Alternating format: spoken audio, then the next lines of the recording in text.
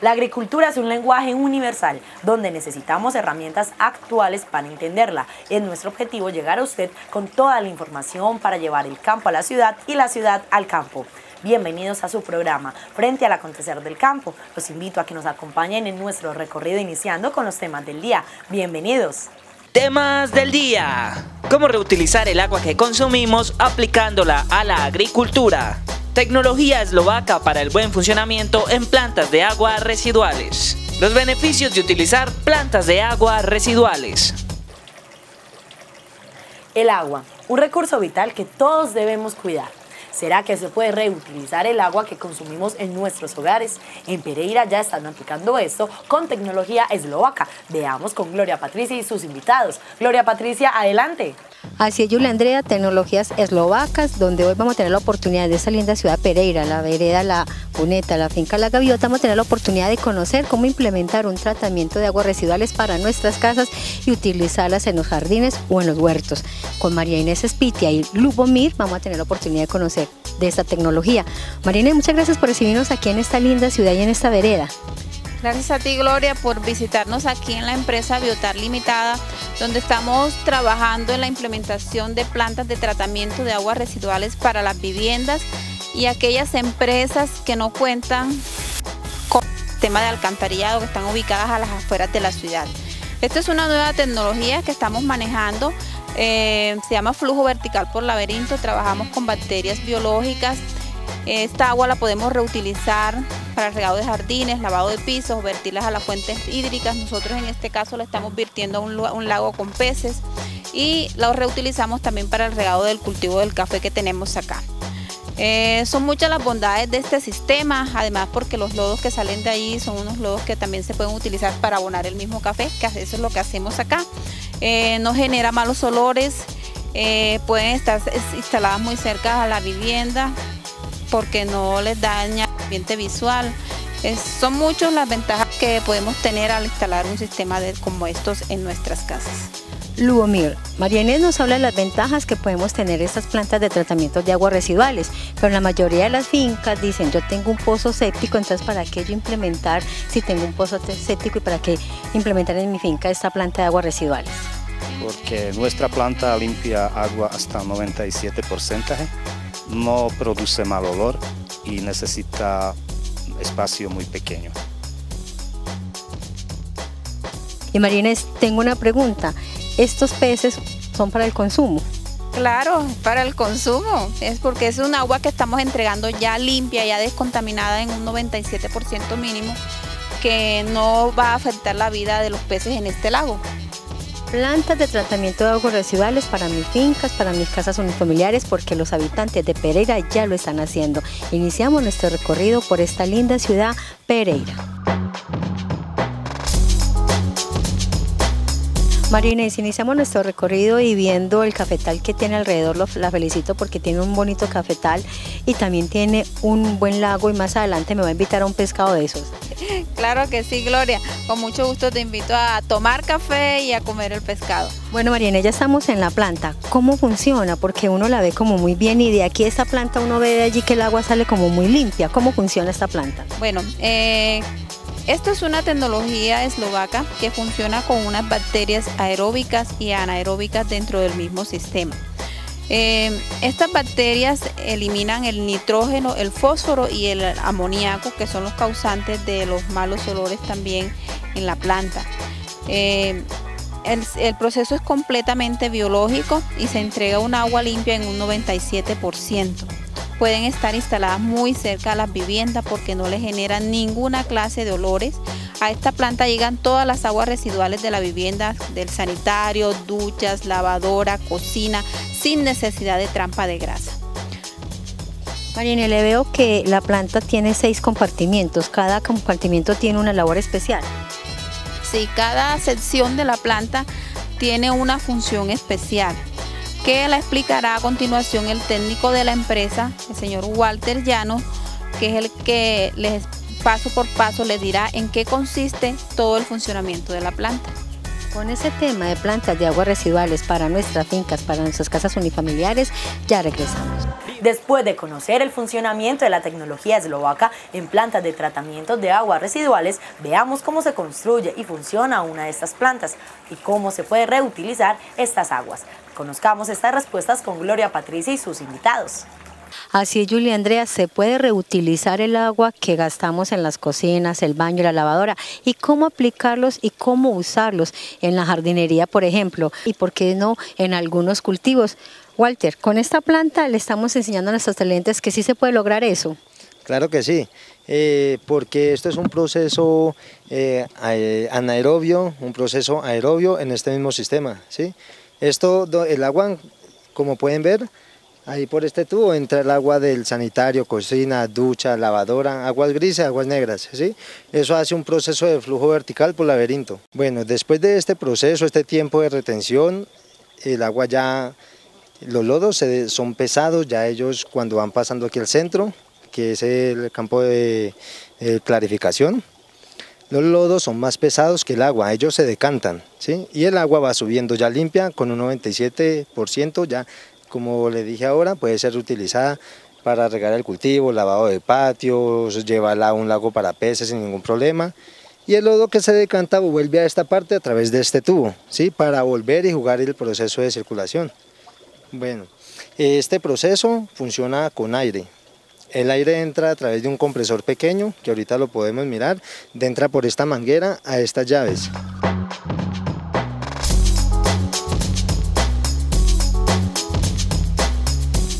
El agua entra a esta parte, la recibe esta rejilla, aquí es donde se queda todo lo que no es biodegradable, como toallitas, pañitos, bolsas plásticas, pelos, etc. Aquí entra el agua, el agua baja, pasa por debajo al segundo, ahí como pueden ver por encima pasa al tercero, vuelve y baja y pasa por debajo al cuarto. Al fondo, en el cuarto, tiene un tubo que comunica con el primero, donde el agua está circulando constantemente en la parte anaerobia. Después, por encima, por esta esquina, pasa a la parte aerobia, donde se hace el otro proceso de limpieza.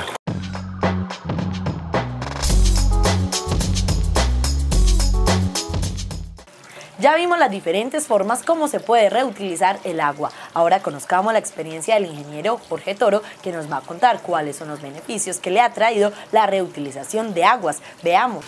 En las aguas negras, eh, la totalidad de las aguas negras y de las aguas de la cocina y residuales de lavado de ropa, todo llega aquí sin necesidad de trampa de grasas se, irriga por, el, por bajo tierra, por todos los frutales que hay aquí, no hay olores, olores molestos no hay ninguno, ni manejo, ni manejo difícil tampoco, el manejo es una vez a la semana reblujar los lodos y no más.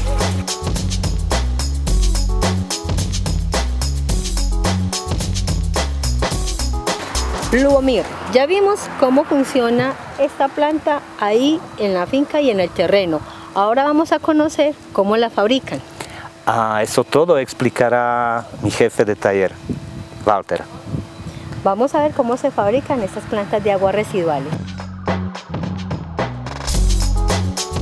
Esto es un material de polipropileno de alta densidad. Este material es importado de Europa, de Eslovaquia. Las hojas vienen de 4 metros por 1,50, estas son de un grosor de 8 milímetros. Hay notas de 15 milímetros que ya vienen con una medida de 4 por 2 metros de ancho. Las hojas las traemos aquí al taller, cada planta tiene una medida. Según la medida, así mismo vamos a construir la planta. Aquí podemos soldar las, las hojas para construir los tanques en la cual se va a llevar la fabricación de la planta. Aquí podemos soldar una hoja que tenga dos metros de ancho por el largor de que se requiera. ¿sí? Cuando ya vamos a soldar las plantas por dentro, los compartimentos, las paredes, ya necesitamos una pistola manual porque con esta máquina no podríamos soldar las paredes que en el interior de la planta. Recordemos que esto es una tecnología europea de Eslovaquia, la cual se ha implementado en más de 26 países europeos.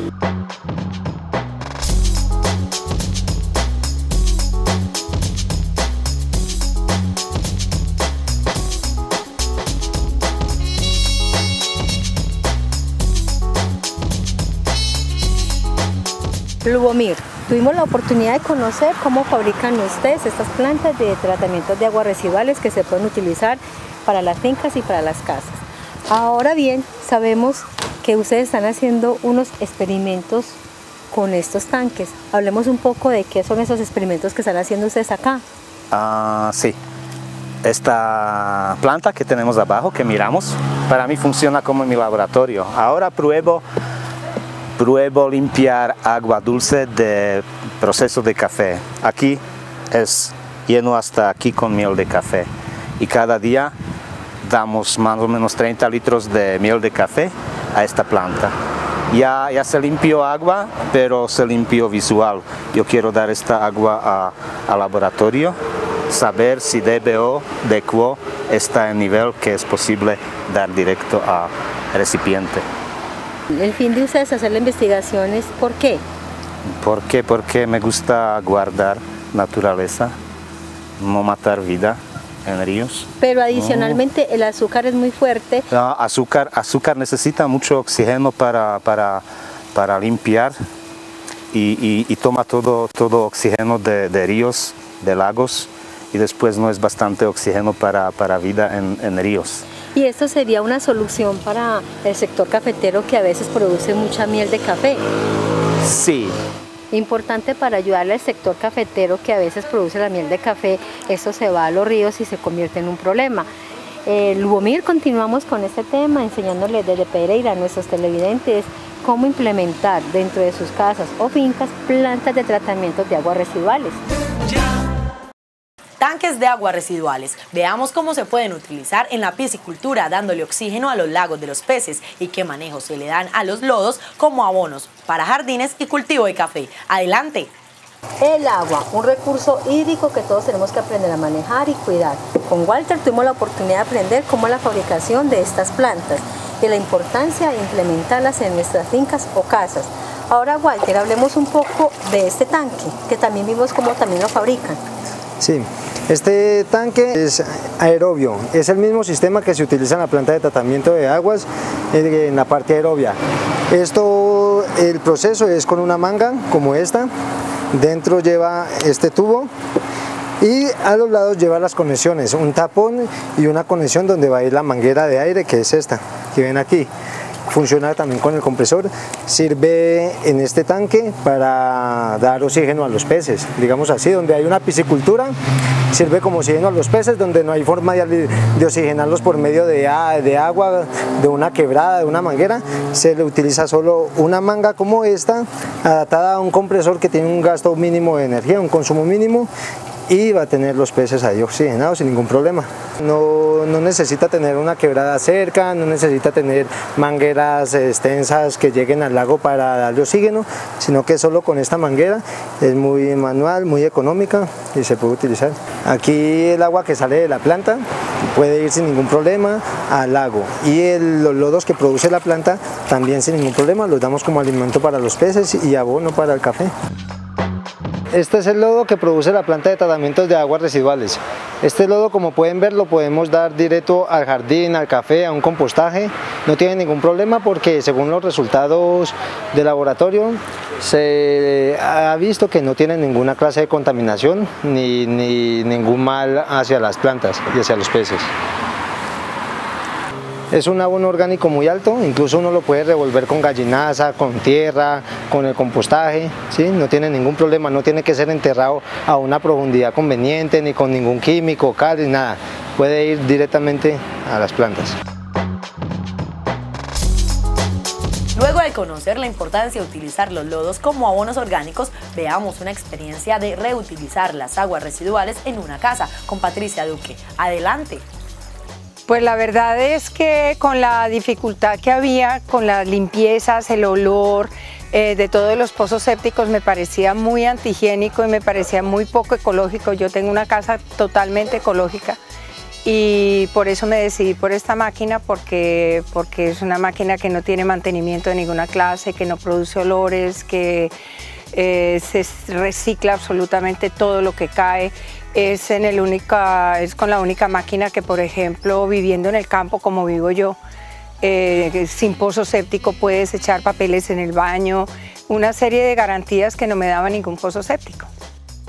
No es sino ver el jardín, todos los lodos, todas las, eh, inclusive es tan sana, tan pura el agua que sale reciclada, que toda va a parar al, lago, en el lago yo tengo peces, todos los lodos que se producen con la máquina se reciclan, se utilizan para, para compost, para las plantas, para las flores, para todo. O sea que los beneficios son 100% de, de, todo lo que se puede uno imaginar en reciclaje y en, y en em, manejo de aguas residuales. Ya no se trata de, la abundancia del agua, se trata es de la, primero que todo, la, la parte ecológica de contaminación con respecto a olores, a los manejos y limpiezas de los pozos sépticos. En eso yo soy una persona que tengo perros, eh, y en la planta yo puedo, yo puedo purificar absolutamente todo el agua que sale de la casa, o sea, yo no tengo residuos tóxicos, yo no tengo olores, yo no tengo absolutamente nada en la, en la, en la casa. Entonces, ¿qué pasa? Que ya no se trata de la economía del agua, porque si para eso fuera yo tengo un lago, es un lago que es un nacimiento natural. Entonces yo no tendría ninguna necesidad de tener una planta de purificación, una planta de reciclaje de aguas plantas de aguas residuales para nuestras casas, cómodas y portátiles. Hoy hemos tenido la oportunidad de conocer los beneficios y cómo implementarlas en nuestras fincas y en nuestras casas. ¿Por qué trae la Colombia? Porque cuando estuve primera vez como turista aquí, yo vi que, que fincas, casas utilizan pozos sépticos y yo quise llevar aquí nueva tecnología que limpia agua sí se puede reutilizar el agua que utilizamos en nuestra cocina y en nuestros baños. Este es un bello ejemplo que hoy les hemos enseñado de la linda ciudad de Pereira unas personas que están trabajando para que nuestros recursos hídricos cada día tengamos mejor forma de manejarlos y darle un buen uso a las aguas reutilizadas o a las aguas residuales que generamos en nuestra casa. Julia Andrea, continúe usted con frente al acontecer del campo. Siempre lo digo, me quedo conociendo más de estas tecnologías. Gracias, Gloria Patricia. Y en efecto, las personas tienen algunas inquietudes acerca del tratamiento de aguas residuales. Al ingeniero John Fernando Jaramillo le agradecemos por acompañarnos y sabemos que usted se encuentra vinculado a una de las empresas más grandes a nivel de Latinoamérica en cuanto a la potabilización. E igualmente aquí en Medellín se cuenta con una de las plantas más completas en Colombia del tratamiento de aguas residuales. Efectivamente, Julia Andrea, en este momento nosotros tenemos una planta que es orgullo de EPM, como quiera que es líder en el tratamiento de las aguas residuales. Ingeniero, con este modelo exitoso y además de tecnología aplicada que vemos en el tratamiento de aguas residuales, lo invito a que veamos las preguntas de nuestros televidentes e igualmente les deseo el paso para que le dé respuesta. Veamos. Las estadísticas dicen que se tratan las aguas residuales un 32%, siendo la realidad que es solamente un 8 o un 10. ¿Por qué? Bueno, eh, eso tiene que ver principalmente con la infraestructura que se tiene instalada en el país y que se está operando. Realmente, eh, como ocurre en muchas eh, obras, hay elefantes blancos, o sea, hay plantas que están construidas pero que realmente no se operan o se operan mal. En este caso, digamos, eh, en empresas públicas nosotros tenemos una planta, que es la planta de San Fernando, la cual no solamente la tenemos construida con todos los requerimientos de ley para poder que el agua una vez descargada al río Medellín pueda cumplir con los parámetros exigidos por la norma, sino que también lo hacemos a unos costos eficientes de tal forma que podamos en este caso eh, responderle a la comunidad, responderle al medio ambiente, responderle a la salud, con lo que tiene que ver con eh, este requisito indispensable como es el tratamiento de las aguas residuales. ¿Por qué es necesario dar tratamiento a las aguas residuales? Bueno, es necesario porque si no, estas aguas entrarían a contaminar los ríos, las quebradas y por tanto a deteriorarse no solamente el paisaje en términos de olores, en términos de aguas muy desagradables a la vista de las personas, sino que también la parte salubre. ¿Por qué es tan costoso el tratamiento de aguas residuales?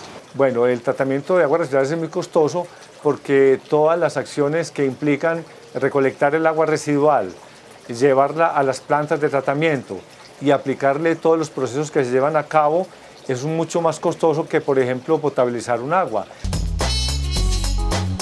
¿Qué programas tiene el gobierno para descontaminar los ríos? Bueno, realmente el gobierno a través de las empresas de servicios públicos y a través de las entidades que controlan y vigilan el cumplimiento de la normatividad, están haciendo esfuerzos para poder lograr este, que el tratamiento de las aguas residuales sea un hecho. Las aguas residuales se pueden utilizar para la agricultura. Eh, el agua residual, digamos, directamente para el uso de la agricultura no se puede utilizar porque hay unos riesgos de contaminación principalmente patógena. Segundo, si el agua residual es un agua que contiene residuos industriales, también pueden estos residuos poner en peligro las plantas que están eh, directamente cultivándose. Por tanto, lo más debido es inicialmente tratar esas aguas y una vez el agua tratada, por ejemplo, el agua que se sobra del tratamiento, que es una agua mucho más descontaminada, previo pretratamiento, digamos, desinfección, filtración, se puede utilizar para riegos y así aprovecharla en la parte agrícola.